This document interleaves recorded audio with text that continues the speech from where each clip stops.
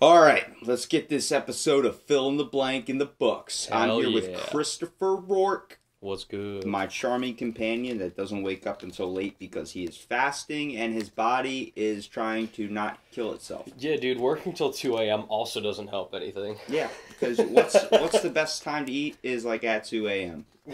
Dude, I eat until 12. It's uh 4 to 12. Okay, this is not a fill in the blank on your fasting. This is a fill in the blank on the Phoenix program. We should do that soon. We will. But what's the Phoenix program, Chris? Um, you know, you told me not too long ago, but I've never done any research onto it, so I'm very excited to hear. Well, the Phoenix program, it was actually a word related to Fenghuang, the Chinese phoenix. It was a program designed and coordinated by the United States Central Intelligence Agency, also known as the CIA, during the Vietnam War, involving cooperation between American South Vietnamese and Australian militaries. The program was designed to identify and destroy the Viet Cong via infiltration, torture, capture, counterterrorism, inter, inter, inter, interrogation, and assassination. The CIA described it as a set of programs that sought to attack and destroy the political infrastructure within Viet Cong. Mm. So the Phoenix had its roots in psych- psychological warfare and police counter-terrorist operations. Also, it employed methods such as the use of wanted poster, blacklists, uh, uh, specs, and disguises as well as violent acts of um, intimidation and terrorism. The PRU, it's an indiscriminate and brutal methods to gather information that was riddled by inaccurate reporting and bribery, which you're going to hear about through this article. So the major, so this is its history. The major two components of the program were provisional reconnaissance units, which are known as PRUs, which, like I said before, it, they use brutal methods to gather information Mm-hmm. and regional interrogation centers. PRUs would kill or capture suspected VC members, the Viet Cong, as well as civilians who were thought to have information on Viet Cong activities. Many of these people were taken to interrogation centers and were tortured in an attempt to gain intelligence on the Viet Cong activities in the area. The information extracted at the centers was given to the military commanders who would use it to task the PRU with further capture and assassination missions. The program's effectiveness was measured in the member or the number of VC members who were neutralized, uh, a euphemism meaning imprisoned, persuaded to defect, or killed. Mm. So already, do you think what what are your thoughts on the Phoenix program? So I'm just kind of confused as to how our government had so many programs like this, and, And we were we're- at war with them, and we still lost to like win the hearts and minds of the Viet Cong. You know, man, I mean, we were out there trying to, you know, we were doing some pretty shady stuff in the wings, and I believe, like, we're not going to truly fully understand what our idea of thinking of it really was. Yeah. Even though we can say, oh, it was just a casualty of war, like they mostly chalk it up to, but there's always something deeper, especially when you're torturing people for information. Yeah. The whole idea that you can look at somebody and just totally neglect the humanity of another person. There's some people like that in the world, though, and I'm sure they found them for this program. Well, the program was in operation between 1965 and 1972, and similar efforts existed both before and after that period. By 1972, Phoenix operatives had neutralized 81,740 suspected Viet Cong operatives, informants, and supporters, of whom between 26,000 and 41,000 were killed.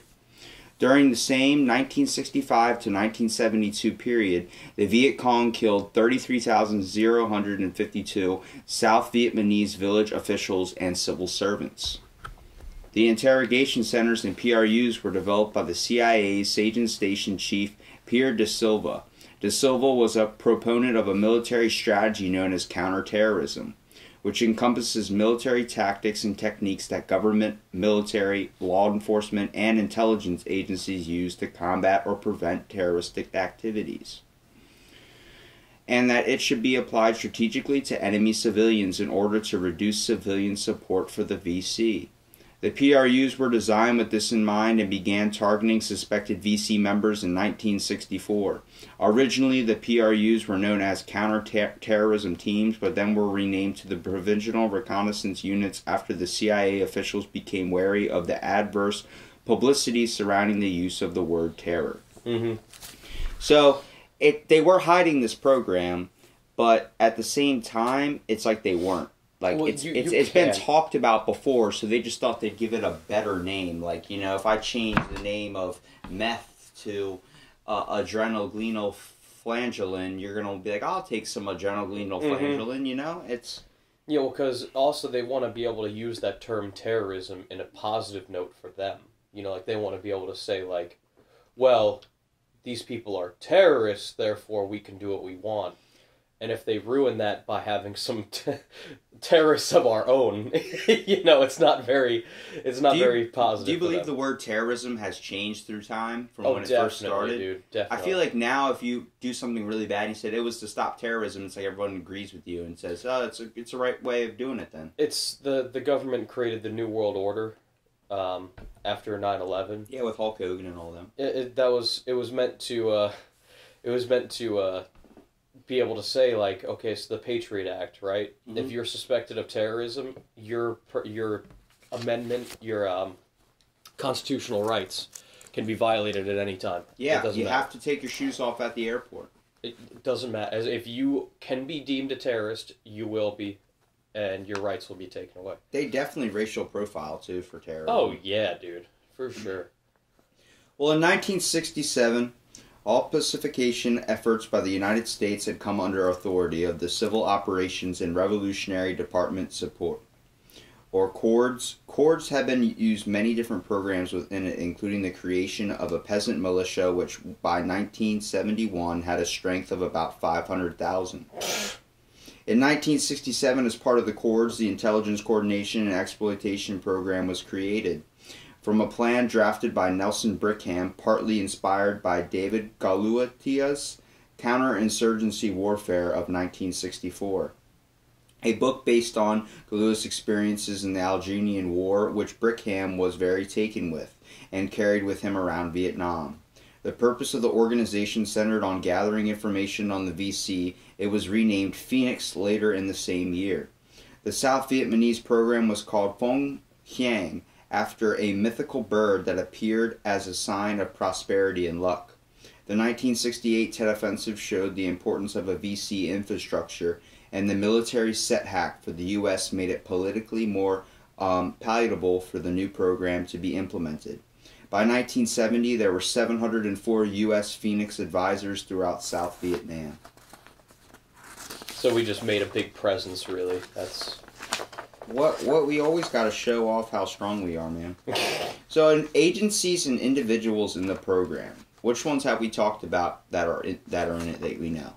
Well, the CIA created this agency. The CIA, the United States Special Operation Forces, Mm. the U.S. Army Intelligence Collection Units from the U.S. Military Assistance Command Vietnam, which is the MACV, the Joint Service Command that provided command and control of all the U.S. adversary and assistant efforts in Vietnam.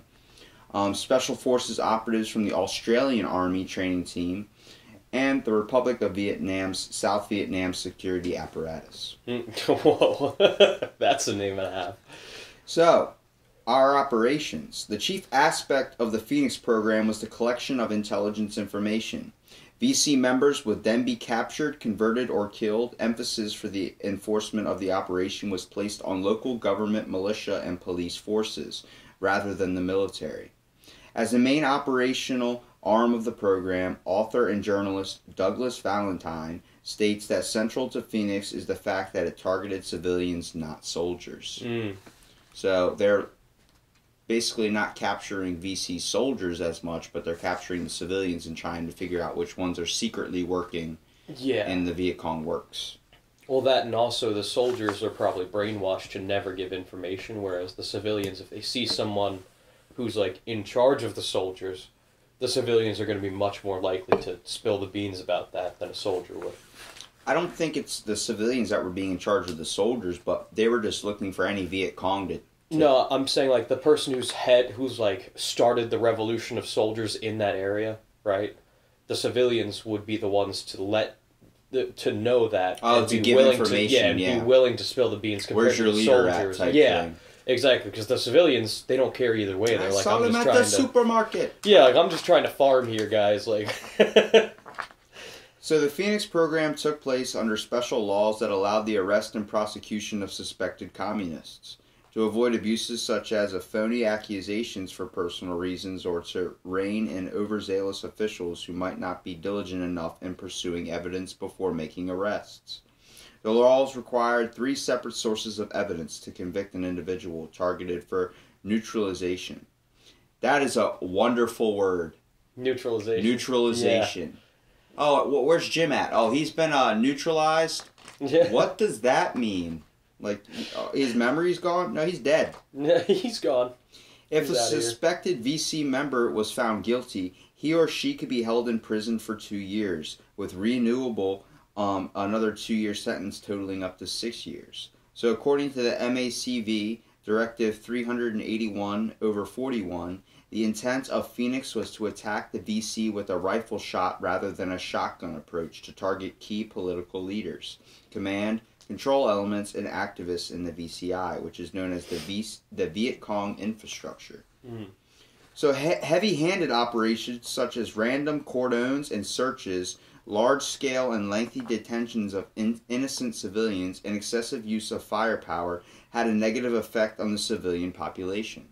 Really, I don't see that being a very positive influence. You're telling me running in there with guns and searching people, throwing them on the ground? Yeah, I figured firebombing a village would increase its growth. Right? Wouldn't that just produce more plants? Intelligence derived from interrogations was often used to carry out search and destroy missions aimed at finding and killing VC members.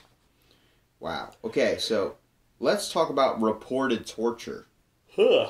No, just this re- is just the reported stuff. Though. This is, There's- yeah, this is what they just decided to document because it must have been so interesting. So, methods of reported torture detailed by author Douglas Valentine that were used at the interrogation centers included rape, gang rape, Mhm. rape using eels, snakes, or hard objects, and rape followed by murder, electric shock. Um, it's also known as the Bell telephone hour. Rendered by attaching wires to the genitals or other sensitive parts of the body, like the tongue, um, the water treatment, the airplane in which the prisoner's arms were tied behind the back and the rope looped over a hook on the ceiling, suspending the prisoner in midair, after which he or she was beaten. Beatings with rubber hoses and whips, and the use of police dogs to maul prisoners. So that's all we did to these random civilians. All the trying to get documented things. All the documented things. It seems like what else could you do that could be worse than raping somebody with an eel? Uh, people who can think about raping someone with an eel can think of much worse. Is it because they don't look like us? They're like a whole different race. Uh, It's that whole objectified thing. Like the same reason why you can kill a cow or a chicken because I, you're, I'm you're not thinking that's probably what it is, but at the same there's time, definitely a race wall there because I feel like if you were trying to kill another white man or something, Mhm. it would be probably a little bit of a struggle or someone that looks similar to how you look. well, you can But think of since them. they they have a different skin color, we think of them as completely different. I think that's why slavery went so far too. hmm Yeah, I feel like um, the whole Viet Cong thing is probably you're right with that, and it's it's harder to picture them with like a picket fence and a family because they're not living the American dream at the time. Plus, I mean, when you label somebody, that's why they labeled them like racist terms like zipperhead and all that because it's easier just to call them names than people. What kind of torture is rape? That's, I don't know how I they. mean, I understand that's torture, but not not just with snakes and stuff, but regular like, and then gang like. yeah, who does it? Hey, Corporal John, why don't you come over here and help me uh, get my service medal by uh, gang ganging up on this girl? Like that doesn't make sense. Yeah, I don't really understand. Well, but see, are they all females? That's the thing too. I hope they're not raping other guys. That- well, I I hope that they're not raping females, but I I, hope think they're not they raping did. anybody, but they did. So they did do that. This one report was by military intelligence officer K. Barton Osborne. Reports that he witnessed the following use of torture: the use of insertion of the six-inch dowel into the canal of one of my detainees' ears, and then tapping through the brain until death. Till death. Yeah, I just stopped because I've experienced what it's like to have something go in your ear. So I was cleaning my ear with a Q-tip, and Mhm. someone opened up the door, and my arm was right by the door, and they opened it hard, and it shoved the Q-tip in my ear and popped my eardrum. Ah. Okay, this dude had the insertion of a six-inch dowel, Yes, that shit's sharp. so into the canal of his ear, so all the way in the ear hole, and then they tapped on it until it went through the brain until he was dead. Mm. And then the starvation of death in a cage of a Vietnam uh, Vietnamese woman who was suspected of being part of the local political education uh, in one of the local villages. And the use of electronic gear such as sealed telephones attached to both the women's vaginas and men's testicles to shock them into submission. Mm. The reported torture was carried out by South Vietnamese forces with the CIA and special forces playing a supervisory role.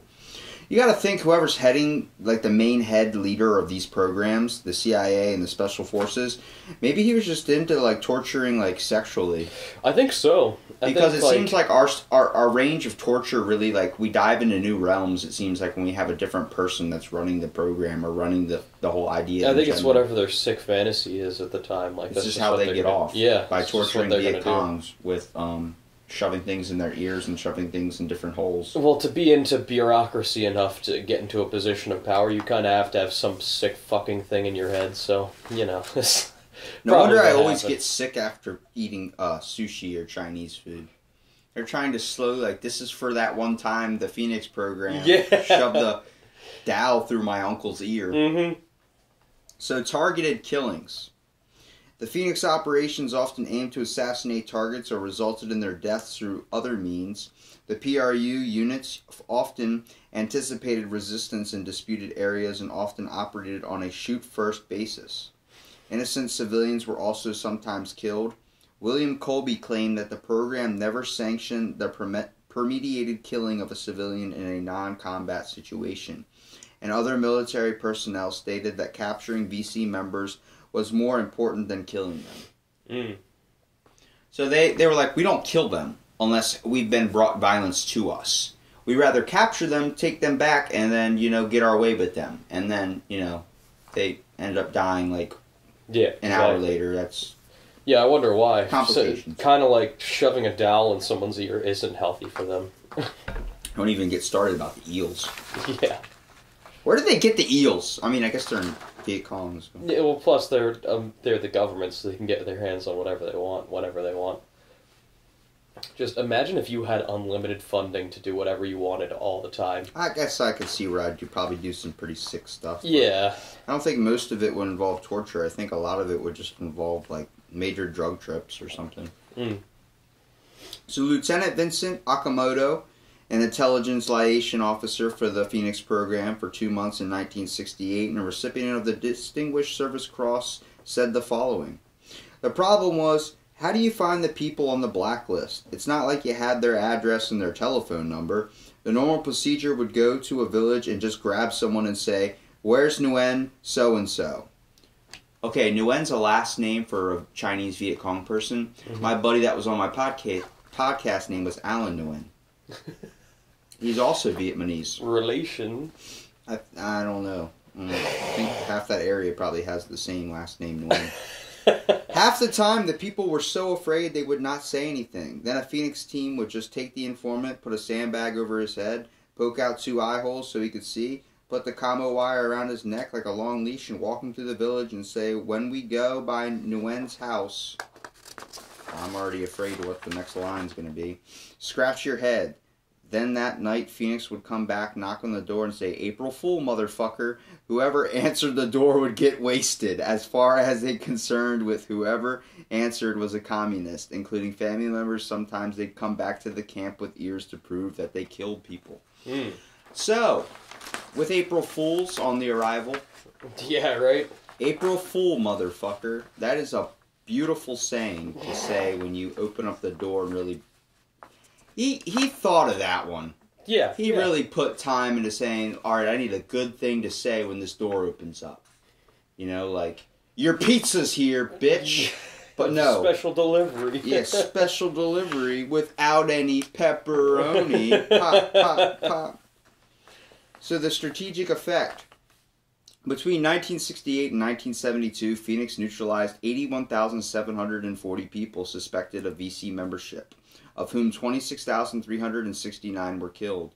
A, sig- a significant number of VC were killed, and between 1969 and 1971, the program was quite successful in destroying VC infrastructure in many important areas. By 1970, communist plans repeatedly emphasized attacking the government's pacification program and specifically targeted Phoenix officials. The VC also imposed quotas. In 1970, for example, the communist officials near Da Nang in southern Vietnam instructed their assassins to kill 1,400 persons deemed to be government tyrants and to annihilate anyone involved in the pacification program. Several North Vietnamese officials have made statements about the effectiveness of Phoenix, according to William Colby, in the years since 1975. I have heard several references to North and South Vietnamese communists who state that in the mind, the toughest period that they faced from 1960 to 1975 was the period from 1968 to 72, when the Phoenix program was at work. Mm. The CIA claimed that through Phoenix they were able to learn the identity and structure of the VCI in every providence. So, what was the public in response to the legal proceedings? The Phoenix program was not generally known during most of the time it was operational to either the American public or American officials in Washington. One of the first people to criticize the Phoenix publicly was Ed Murphy, a native of Staten Island, New York, in 1970. Not Eddie Murphy. uh, there was eventually a series of U.S. congressional hearings in 1971 and the final day of hearing on the U.S. assistant programs in Vietnam. A former serviceman named K. Milton Osborne described the Phoenix program as a sterile, depersonalized murder program. I mean, that's a good name for it, considering Yeah. that they had the best covering for it, calling it the U.S. Assistance Program in Vietnam. Let me assist you in uh, death. Yeah, Or neutralization, I should say. Yeah, neutralization. That's the better term. So, consequently, the military command in Vietnam issued a directive that re, uh, re altered that it had based the anti VCI campaign on South Vietnamese law and that the program was in compliance with the laws of the land of warfare. Like I said, seems like everything seems to be chalked up to just another casualty of war. Mm-hmm. So, former CIA analyst Samuel A. Adams, in an interview with the CBC News, talked about the program as basically an assassination program that included torture. A former Phoenix intelligence officer, Barton Osborne, in an interview broadcast in 1975, talked about the torture practices used by the Americans and detailed a case in which a man was dragged out of the interrogation hooch with a dowel protruding from his ear. The dowel had been tapped through in the course of the torture to hit the brain. There were activities performed by American Marines.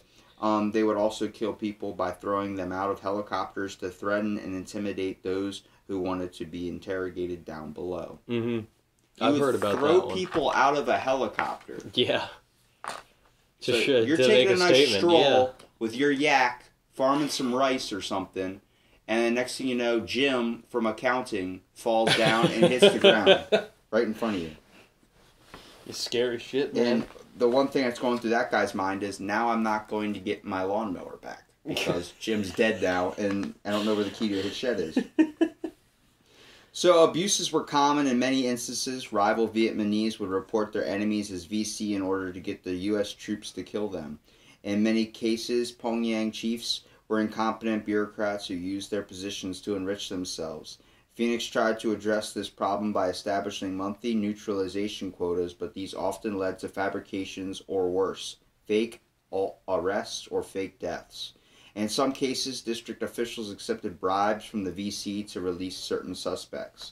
After the Phoenix program abuses began, began receiving negative publicity, the program was officially shut down, although it continued under the name Plan F6 within the government of South Vietnam in control. So, with all this being said, what is your takeaway from the Phoenix program? Do you believe it was something we had to do? Um, Do you believe that they definitely took super drastic measures to try and get what they needed to get in an area that they felt like they couldn't didn't have to respect because they didn't look the same? yeah, I just I feel like it's um like taking away a human element to the United States once again.